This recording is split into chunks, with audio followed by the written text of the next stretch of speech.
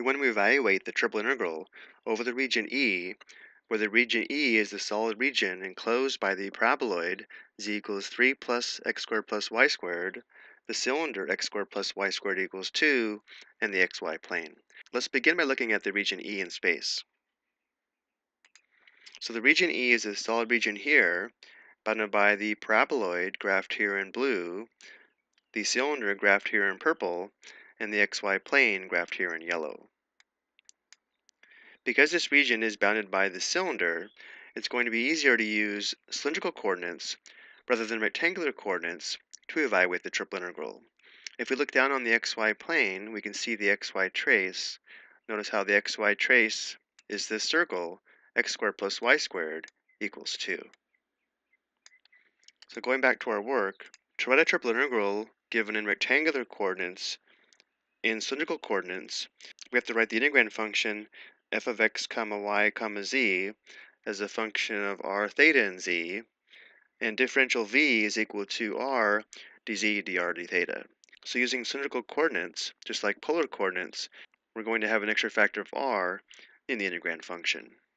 So starting with the given triple integral, to write this in cylindrical coordinates, e to the z is already a function of z, so there's no conversion to perform with this function, but we are going to have an extra factor of r in the integrand function. So the integrand function is going to be r times e raised to the power of z, and then we'll use the order of integration given by dz dr d theta. And now we need to find the limits of integration for z, r, and theta.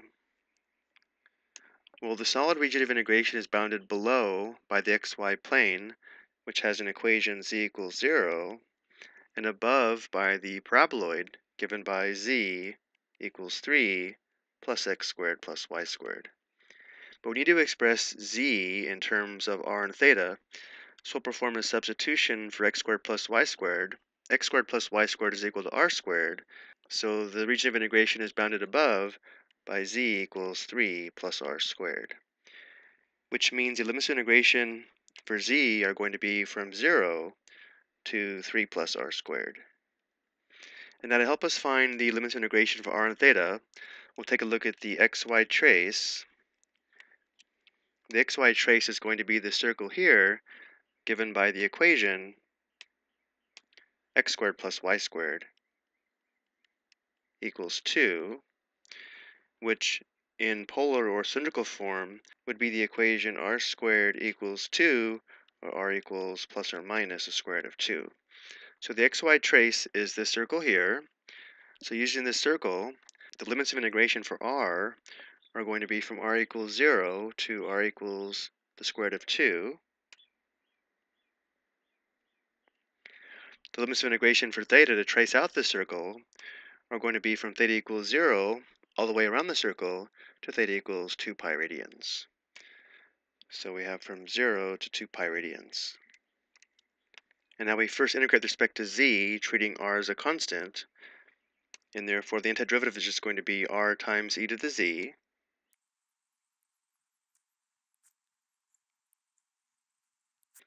And now we need to find big F of b minus big F of a by performing substitution for z. So we're going to have r times the quantity e raised to the power of 3 plus r squared minus e to the 0 e to the 0 is equal to 1, so distributing, the new integrand function is going to be r times e raised to the power of 3 plus r squared, and then minus r times 1, so minus r.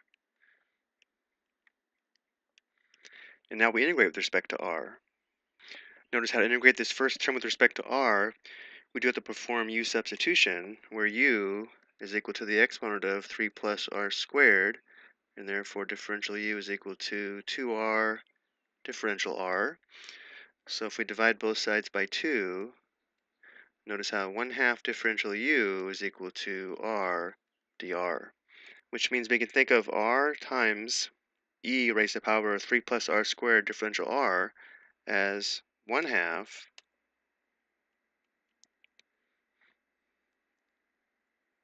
e to the u differential u.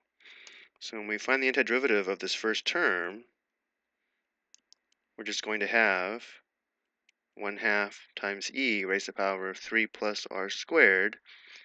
And then we have minus the antiderivative of r with respect to r is going to be r squared divided by 2, or 1 half r squared. And now we need to find big F of b minus big F of a by performing substitution for r.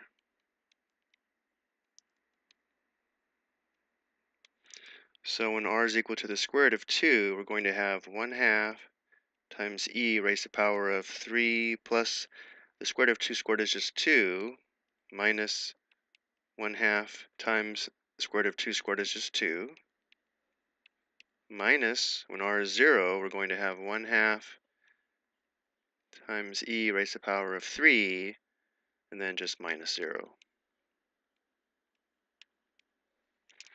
And now simplifying, let's write this as 1 half e to the fifth. We have a minus 1 here, but we also have minus 1 half e to the third.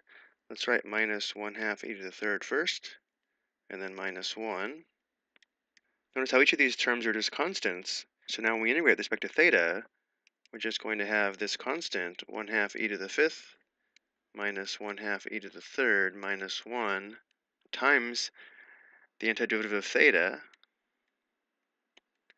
And finally, performing substitution here, we just have the constant 1 half e to the fifth minus 1 half e to the third minus 1 times, we just have 2 pi minus 0. So the exact value of the triple integral is going to be 1 half e to the fifth minus 1 half e to the third minus 1 times 2 pi. Or as a decimal approximation, this comes out to approximately 396.8699. I hope you found this helpful.